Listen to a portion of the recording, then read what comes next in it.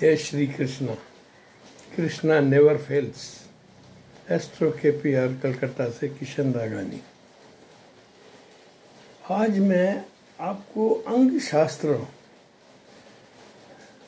में से कान की बनावट से इंसान की पहचान का एक छोटा उदाहरण दे रहा हूँ। क्या हम लोग किसी की कुंडली मंगवाते हैं ना, कहते हैं, साहब, आपका फ़ोटो भी भेज दो। उसमें क्या हम उनके नाक, कान, हाथ देख के भी उससे उनको सटीक चीज़ें बताते हैं। तो आज मैं कान की बात कर रहा हूँ।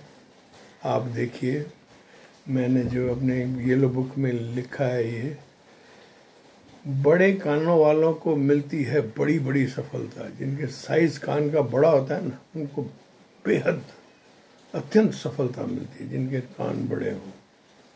श्रेष्ठ कान होते हैं ये। छोटे कान वाले जिनकी कान का साइज़ छोटा होता है, वो महाकंजूस होते हैं।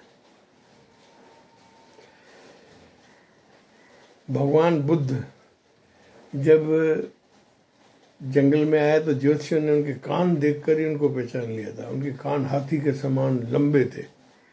ज्योतिषियों ने आगे बढ़ के इनसे पूछा, ये तो विष्णु अवतार है।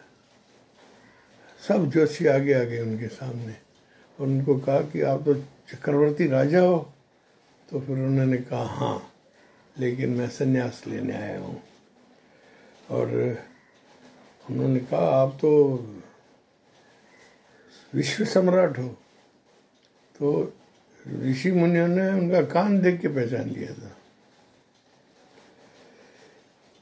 आपके कान पर अगर बाल हैं, देखो, यहाँ रोम होते हैं, रोम बोलते हैं। यहाँ जिनके बहुत होते हैं तो उनकी उम्र बड़ी होती है। जिनके कानों पे बाल ज़्यादा होते हैं ना, उम्र बड़ी होती है। माना कनपट्टी पर, ठीक है?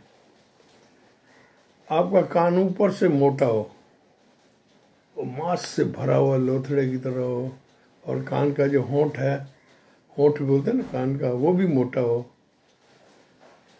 तो आप मान के चलो कि आप राजनीतिज्ञ होंगे। ज़बरदस्त सफल राजनीतिज्ञ। राजनीतिज्ञ के कान देखोगे ना मोटे। बिल्कुल उनकी लिप्स जो कान की होती है, वो भी मोटी होती है, थिक होते हैं। मज़बूत। तो ये कान के मज़बूत होते हैं।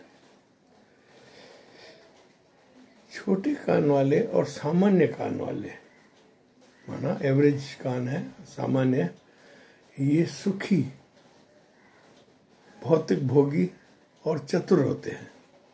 माना this is the category of seventy percent public understand भाई, वाजिब कान छोटे काम और साफ़ सुथरे, अच्छे तो ये चतुर, भोगी और सुखी होते हैं।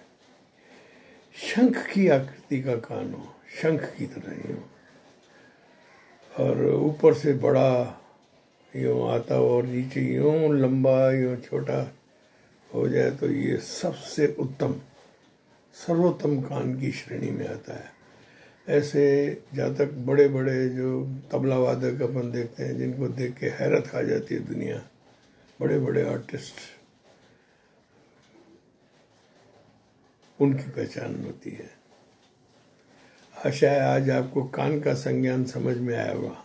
एक बात और कहूँ कि भाई, जैसे आपके कान सीधे प्लेन है, लेकिन इसमें बाल आना शुरू हो रहे हैं ना तो आपको पूजा पाठ बढ़ा देनी चाहिए, क्योंकि साफ़ कान पे बाल आना वो अलग चीज़ है। वो संकट की निशानी की होती है।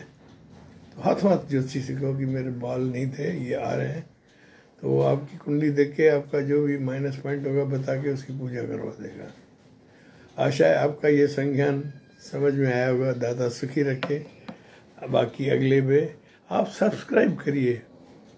तो आपको के यूट्यूब वाले अपने आप मेरे वीडियो भेज देंगे। ठीक है ना? आपको भी कंफर्ट हो। जाएगा मिक्स एक्सपीरियंस ठीक है? God bless you